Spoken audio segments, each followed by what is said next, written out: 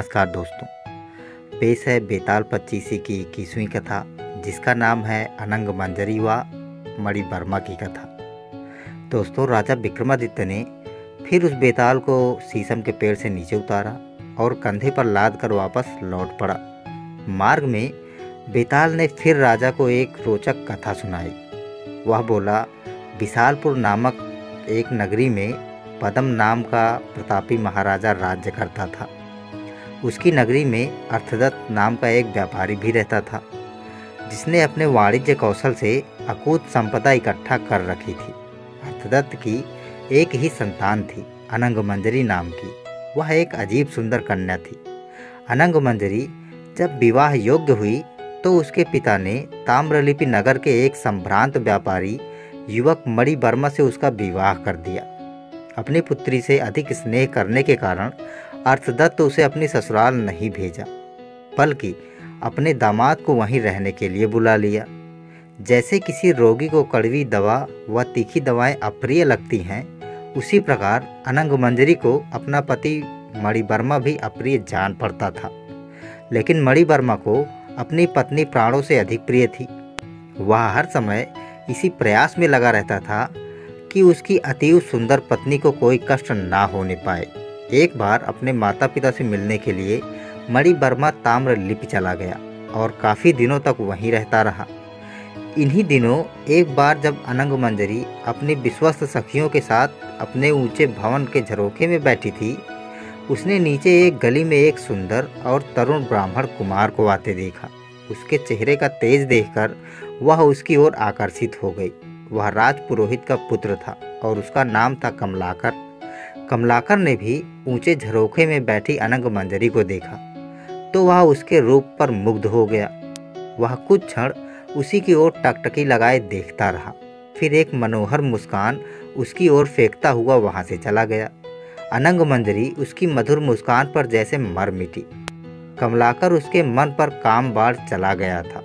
उस दिन से सारी सुदबुद खोकर वह उसी की याद में विदग्ध रहने लगी। उसका खाना पीना तक छूट गया और वह लज्जा, भय में दुबली पतली और पीली पड़ गई। प्रिय मिलन बड़ा कठिन था। अनंग मंजरी निराश सी हो गई थी। कमलाकर को पाने की लालसा में वह एक दिन इतनी व्याकुल हो गई कि उसने प्राण त्यागने का निश्चय कर डाला। एक रात वह चुपके से अपनी कुल देवी चामुंडा के मंदिर में पहुँची और वहाँ देवी के सम्मुख हाथ जोड़कर विनती की, हे देवी, इस जन्म में तो मैं कमलाकर को पति रूप में प्राप्त नहीं कर सकी। किंतु आशीर्वाद दो कि अगले जन्मों में वही मेरा पति हो। देवी के सम्मुख ऐसा कहकर उसने अपनी पिछौरी से एक फंदा तैयार किया और उसे एक अशोक वृक्ष की शाखा पर लटका दिया। इसी बीच महल में जब उसकी सखी अतरंग मातलिका की नींद खुली और उसने अनंग मंजरी को वहाँ न देखा तो वह उसे ढूँढने निकल पड़ी। मंदिर के समीप जब उसने अनंग मंजरी को अपनी गर्दन में फंदा डालते देखा तो वह घबरा उठी और दौड़ती हुई उसकी समीप जा पहुँची। उसने उसके गले से फंदा निकाला और व्यग्र स्वर में अनंग मंजरी से पूछा, सखी, ऐसी क्या बात हो गई जिसके कारण तुम अपनी जान देने को तैयार हो गई हो? देखो, मैं तुम्हारी सखी हूँ, तुम्हारी हितैषी हूँ। मुझे अपना दुख बता दो। मैं अपने प्रयास से तुम्हारा दुख दूर करने की कोशिश करूँगी। तब अनंग मंजरी ने अपने मन की सारी व्यथा सुनाकर उससे कहा, सखी, मेरे हृदय में उस तरुण ब्राह्मण के न मिलने से विरह की अग्नि जल रही है। यदि तुम मुझे जीवित देखना चाहती हो तो मुझे अपने प्रियतम से मिला दो। अनंग मंजरी के ऐसा कहने पर मातलिका ने उसे आश्वासन दिया और बोली, सखी, आज तो बहुत रात हो गई है। सवेरा होने पर मैं कुछ प्रबंध करूँगी। और तुम्हारे प्रियतम को इसी जगह बुला दूँगी। तुम इस बीच धीरज धरो और अपने घर जाओ। सवेरा होने पर मातलिका छिपती छिपाती कमलाकर के पास पहुँची। वह उस समय बागीचे में एक वृक्ष के नीचे चंदन जल में भीगे कमल पात्र की सया पर लेटा हुआ था। उसका एक घनिष्ठ मित्र जो उसके सारे रहस्य जानता था, काम ज्वाला में जलते हुए अपने मित्र को केले के पत्ते से हवा कर रहा था। यह दृश्य देखकर मातलिका ने सोचा कि क्या मेरी सखी अनंग मंजिरा के विरह में ही इसकी यह दशा हो रही है? ऐसा सोचकर वह सत्य पता लगाने के लिए एक वृक्ष के पीछे छिप गई। उसी समय कमलाकर के उस मित्र ने कहा, दोस्त, कुछ देर इस सुहावने बागीचे को देखकर अपना जी बहलाओ और अपने हृदय में जलती हुई विरह वेदना की आग को ठंडा करने की कोशिश करो। मैं अभी आता हूँ। ऐसा कहकर उसका मित्र जाने के लिए उद्गृत हुआ, लेकिन उसे रोककर कमलाकर ने कहा, मित्र कैसे बहलाऊं अपने मन को? उस व्यापारी की कन्या ने मेरे मन को चुरा कर मुझे सूना कर दिया है। मेरे सूने हृदय को कामदेव ने अपने बाणों का तरकस बना दिया है। इसलिए तुम कोई ऐसा उपाय करो जिससे मैं उसे पा सकूँ। कमलाकर की ऐसी बातें सुनकर मातलिका का संदेश जाता रहा। वह अपने छिपे स्थान से निकली और कमलाकर के समीप जाकर बोली, भद्र मुझे अनंग मंजरी ने आपके पास भेजा है। उसने संदेश दिया है कि यदि शीघ्र ही आप उसे ना मिले तो वह अपने प्राण त्याग देगी। आपके विरह में उसकी बहुत बुरी दशा हो रही है। शरीर सूख गया है। उसके चेहरे की कांति आभाहीन हो गई है। यदि आप उसे बचाना चाहते हैं तो जैसा मैं कहूँ, वैसा ही करें। इस पर विरह की आग में जलते हुए कमलाकर पर मानो अमृत की वर्षा हो गई हो। उसने तुरंत अपनी सहमति व्यक्त कर दी। तब मातलिका ने कहा, आज रात को मैं गुप्त रूप से अनंग मंजरी को उसके महल के बागीचे में ले आऊँगी। आप वहीं बाहर ठहरिएगा। इसके बाद कोई उपाय करके आपको भी भीतर बुला लूँगी और इस तरह आप दोनों का मनचाहा मिलन हो सकेगा इस प्रकार मातलिका ने अपनी बातों से उस ब्राह्मण पुत्र को प्रसन्न किया। अपना काम पूरा करके वह वापस लौटी और उसने अनंग मंजरा को भी आनंदित किया। उस रात, जब वह कामी और उत्कंठित कमलाकर सज धज कर अपनी प्रिया के बागीचे के दरवाजे पर पहुँचा तो मातलिका उसे युक्तिपूर्वक उस बागीचे में ले गई। कमलाकर ने अनंग मंजिरा को एक आम्र कुंज के छाया में बैठे देखा। भटोही जिस प्रकार छाया को देखकर खिल उठता है, वैसे ही कुछ हाल उस समय कमलाकर का हुआ। उसे देखकर कमलाकर का चेहरा खिल उठा। वह आगे बढ़ ही रहा था कि अनंग मंजरी ने उसे देख लिया काम के आवेग ने उसकी लज्जा नष्ट कर दी थी। उसने दौड़कर कमलाकर को गले से लगा लिया। कहाँ जाते हो? मैंने तुम्हें पा लिया। ऐसा कहकर अनंग मंजरी प्रलाप करने लगी। अत्यधिक प्रसन्नता के मारे उसकी साँसें रुक गई और उसके प्राण जाते रहे। वायु से छिन्न लता के समान वह धरती पर गिर पड़ी।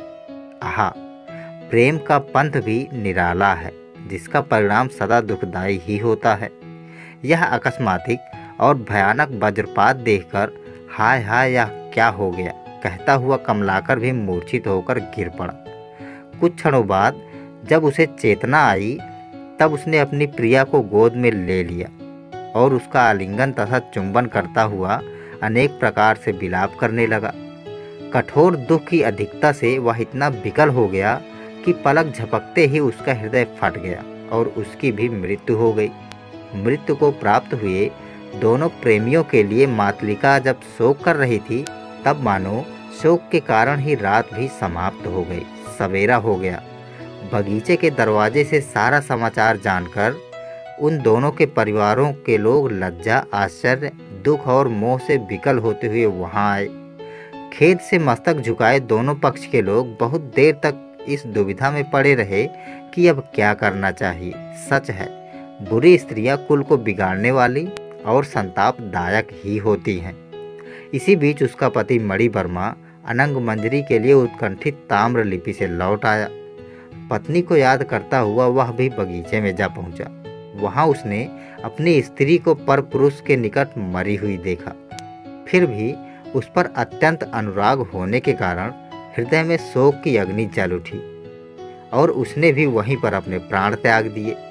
तत्पश्चात वहाँ इकट्ठे हुए लोगों की चीख पुकार सुनकर नगर के सभी लोगों को सारा वृत्तांत मालूम हो गया और वह विस्मित होते हुए वहाँ आ पहुँचे। अनंग मंजरी के पिता ने चामुंडा देवी का जो मंदिर बनवाया था, वह निकट ही था। यह दृश्य देखकर गणों ने देवी से निवेदन किया, हे देवी, अर्थदत्त ने ही यहाँ आपकी प्रतिष्ठा की है। यह व्यापारी सदा से ही आपका भक्त रहा है, अतः इस दुख के समय पर इस पर दया करें। गणों की प्रार्थना सुनकर देवी ने उसे पुनर्जीवित होने का आशीर्वाद प्रदान कर दिया। देवी की कृपा से वह तीनों ही इस प्रकार जीवित हो उठे, मानो सोते ही जाग पड़े हों। अब उनके काम विकार भी नष्ट हो चुके थे। यह आश्चर्यजनक घटना देखकर वहाँ उपस्थित सभी लोग बहुत आनंदित हुए। कमलाकर लज्जा से मस्तक झुकाकर अपने घर चला गया। अर्थदत्त भी लजाई हुई अपनी कन्या को अपने पति सहित घर ले गया। उस रात को मार्ग में जाते हुए बेताल ने कथा सुनाकर विक्रमादित्य से पुनः पूछा, राजन, अब तुम मेरी इस शंका का समाधान करो कि प्रेम में अंधे बने हुए उन तीनों में से किसकी आसक्ति अधिक थी। अनंग मंजरी को कमलाकर की तथा अनंग मंजरी के पति मणि वर्मा की। यदि जानते हुए भी तुमने मेरी शंका का समाधान नहीं किया तो मेरा वही श्राप तुम पर फट पड़ेगा। बेताल की यह बात सुनकर राजा ने उत्तर दिया और बोला, हे बेताल, मुझे तो इन तीनों से मणि वर्मा ही अधिक मुहांद जान पड़ता है। कारण यह कि शेष दोनों तो एक दूसरे के प्रति अनुरुक्त थे और समय पाकर उनकी आसक्ति पक्की हो चुकी थी। अतः उन दोनों ने प्राण त्याग दिए। तो ठीक ही था, लेकिन मणि वर्मा तो बहुत ही मोहांध था।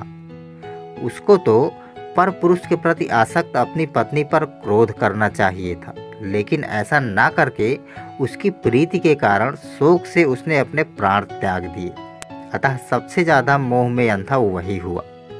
उसी की आसक्ति सबसे अधिक थी। राजा का उत्तर बिल्कुल सटीक था। अतः बेताल संतुष्ट हो गया। और पहले की ही भांति अपनी माया से राजा के कंधे से उतरकर अंतर ध्यान हो गया।